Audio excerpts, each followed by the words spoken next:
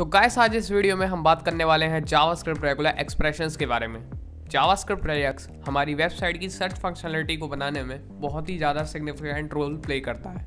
ये हमारे search functionality को काफ़ी ज़्यादा एडवांस और उसे काफ़ी ज़्यादा पावरफुल बना देता है। तो चलिए, बिना टाइम वेस्ट किए चलते हैं जल्दी से वी एस कोड पे और इस ट्यूटोरियल को बिगिन करते हैं।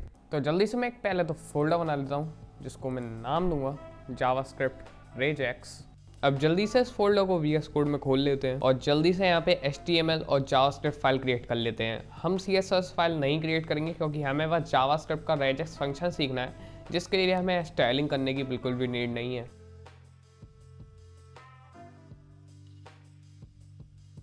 अब एच में जल्दी से यहाँ पे बॉयलर प्लेट डालते हैं और टाइटल डाल देते हैं जावास्क्रिप्ट रेजेक्स उसके बाद यहाँ पे हम अपनी जावास्क्रिप्ट लिंक कर लेंगे। और अब जावास्क्रिप्ट में आते हैं तो रेजेक्ट सीखने से पहले हमें स्ट्रिंग मेथड्स के बारे में पता होना चाहिए।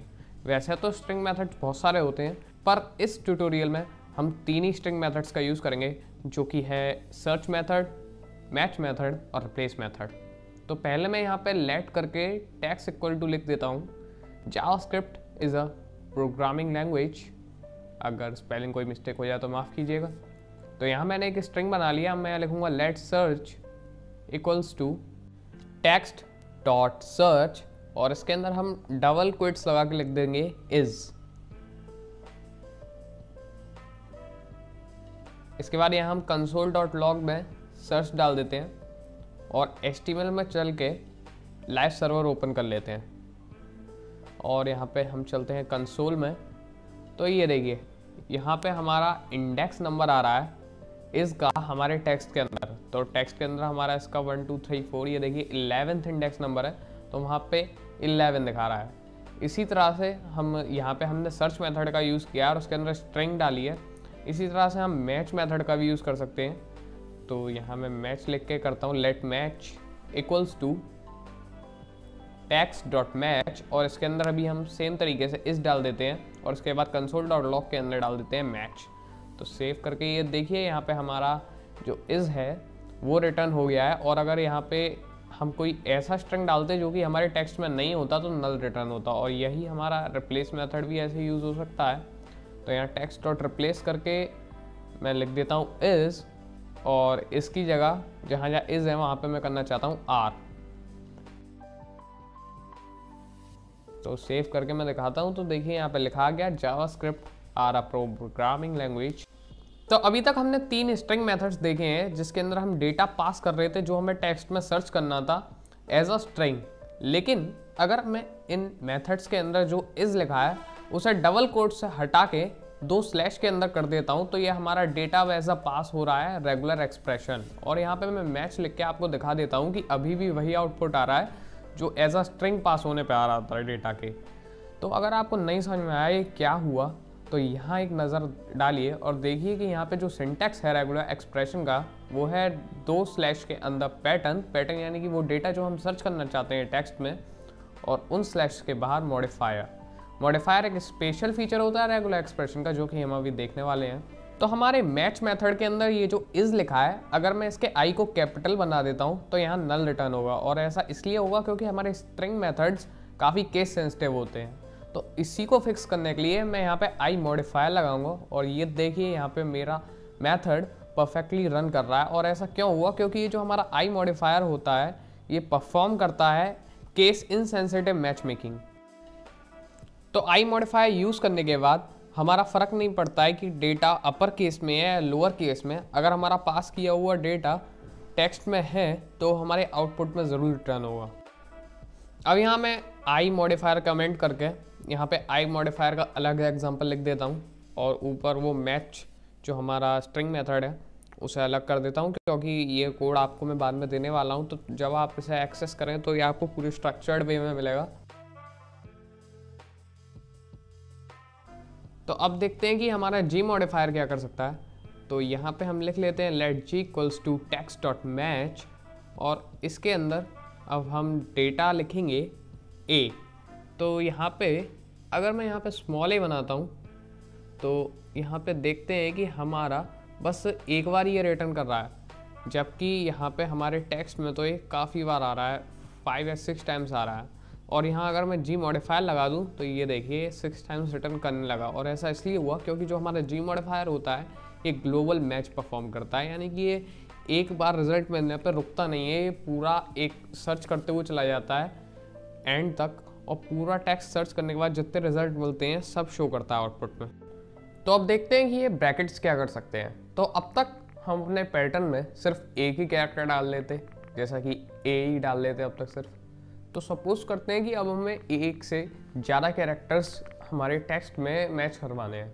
तो यहाँ मैं एक लेट करके बना लेता हूँ A B C equal to text dot match और अब हम अपने पैटर्न में, यानी कि जो डेटा हमें सर्च करवाना है, उसमें दो कैरेक्टर्स डालेंगे ए और आई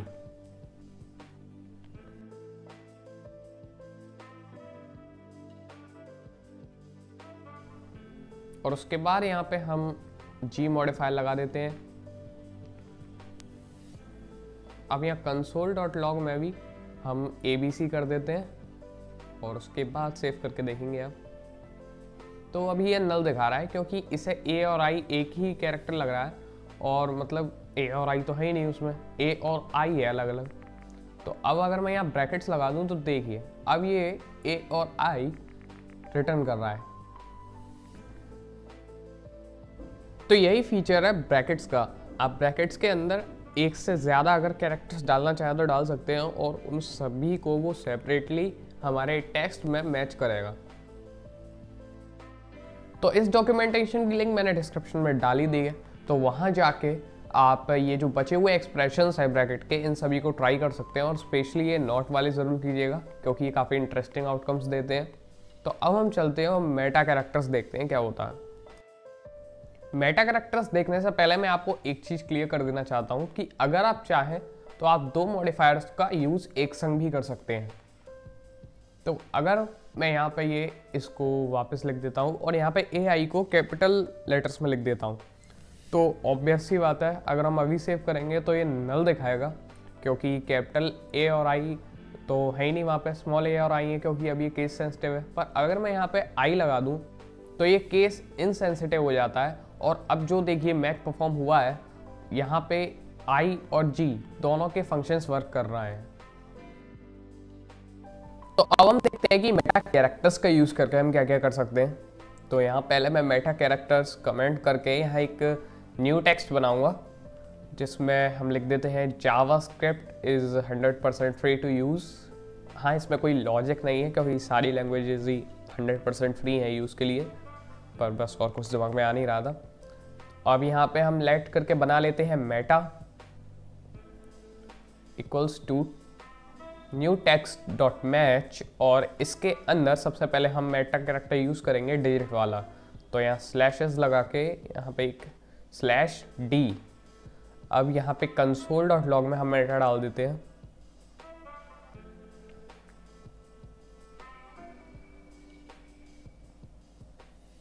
और उसके बाद सेव करके देखते हैं। तो ये देखिए ये हमें वन रिटर्न कर रहा है क्योंकि वन ही वो डिजिट है जो पहले आ रही है हमारे न्यू टेक्स्ट में। अगर मैं यहाँ ग्लोबल ऑपरेटर लगाऊँ तो ये वन ज़ीरो ज़ीरो जितनी भी डिजिट है हमारे न्यू टेक्स्ट में सब रिटर्न कर रहा है।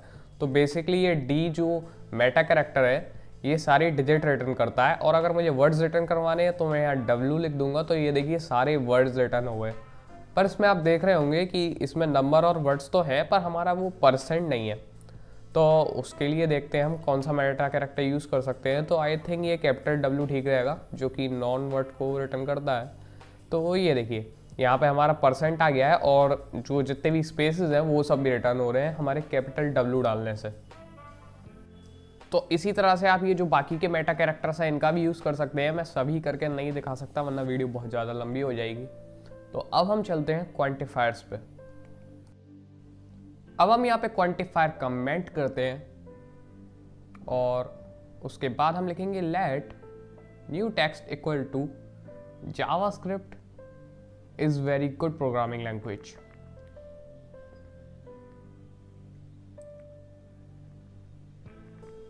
उसके बाद हम लेट क्वांट करके लिख लेते हैं। New text dot match